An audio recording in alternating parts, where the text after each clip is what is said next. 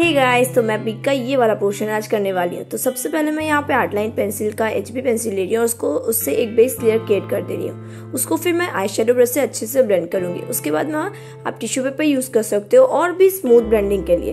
उसके बाद मैं टॉम्बो मोनोजीरो इरेजर यूज़ करके जो भी बीक में पैटर्न वाले हाईलाइट्स है, उसको मैं क्रिएट कर रही हूँ, अच्छे से ऑब्ज़र्व करके आप करना। और फिर मैं एच पेंसिल यूज़ कर रही हूँ और जो जो डार्क वाली वैल्यूज़ है, उसको क्रिएट कर रही हूँ।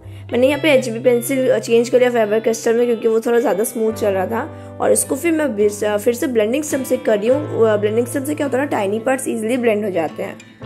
एक और लेयर लगा रही हूँ फोर पे मैकेनिकल पेंसिल का यूज़ करके, उसको भी अच्छे से ब्लेंड कर लेंगे मेरे आई शेडो ब्रश से, और फिर इरेजर का यूज़ करके हाईलाइट्स करेंगे। और लास्ट में मैंने नीडेड इरेजर का यूज़ करके हाईलाइट्स को लाइटली हाईलाइट्स किया है, बहुत ज़्यादा नहीं। तो ये वीडियो ये ड्राइंग कंप्लीट हो गई। अगर आपको ये वीडियो अच्छी लगी तो लाइक शेयर सब्सक्राइब मिलता है नेक्स्ट वीडियो में, तब तक के लिए बाय कीप इम्प्रूविंग